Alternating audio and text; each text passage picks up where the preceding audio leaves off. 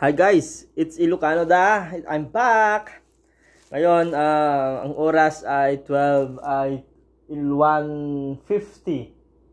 1.50. Uuwi ako mga 2 2.10, 2.7. Pero tignan nyo guys, ang gagawin natin. Umuulan kasi. Naka-scooter ako, wala akong kapote.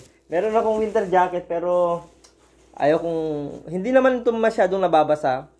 Pero hindi nababasa to pero you know para hindi tutulo ng tubig papunta sa jacket sa sa pants ko.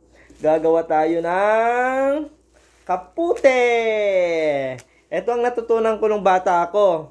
Okay? Ito, may garbage bag dito. Uh, tupin natin guys, tinupi ko. Tapos tanggalin yung dalawang gilid. Parang letter C. Okay? Tapos dito sa gitna, tanggalin din. Tatanggalin. Wala akong ano eh, tanggalin. Wala akong gunting.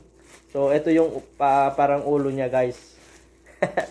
ito yung parang ulo niya. So ganyan. Umuulan kasi, guys. So ito, tara! Isusuot natin yung kapote natin. ito guys, ganito. Oh, tignan niyo ang buhay ko dito sa Canada. mm.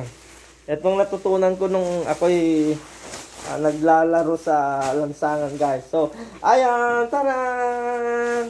Para hindi ako ma... Ma... Tawag ito, maulanan, mabasa. Maulanan pero hindi ako mabasa, guys. So, ito yung Super Kapute! Yes, guys, it's Silo Canada. So, meron na naman akong na uh, naibahagi sa inyo.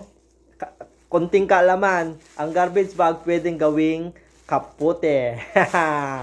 so guys, thank you for watching on my vlog. It's Ilo Canada. Please subscribe on my channel kung nagustuhan nyo ang ating konting kaalaman. Please share my videos.